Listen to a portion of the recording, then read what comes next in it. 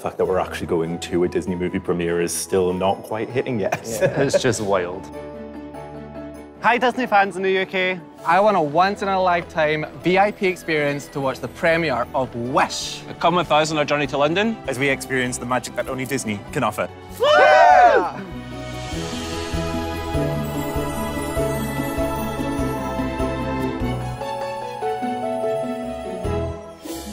Hi, uh, I'm Rudy, and uh, I'm the prize winner of the Wish Experience. I'm Grant, and I'm friend of the winner of the, the Wish Experience. I am Niall, and I'm friend of the friend of the winner of the Wish Experience.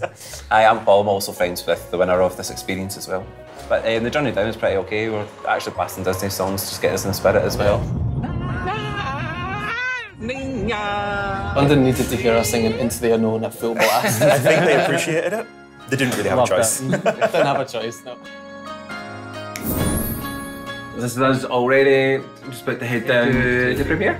Really, this is like a once-in-a-lifetime opportunity, and wow, like, I'm so excited. I'd say I was the best dressed out of everyone. I'm gonna go ahead and say Rue. Oh. Because I love the shoes.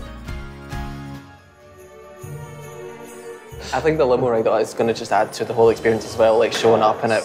Oh, the paparazzi be like, who's that? It's just us.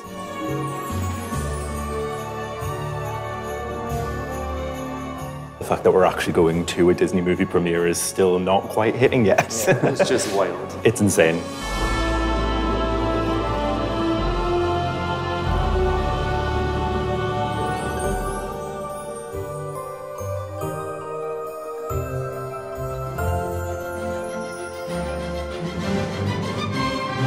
Let's go!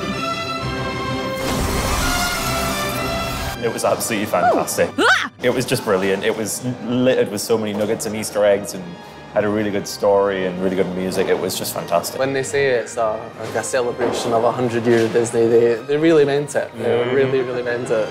And it's been a great experience. It's kind of a once in a lifetime sort of experience you're going to get. Happy 100th anniversary, Disney. Woo!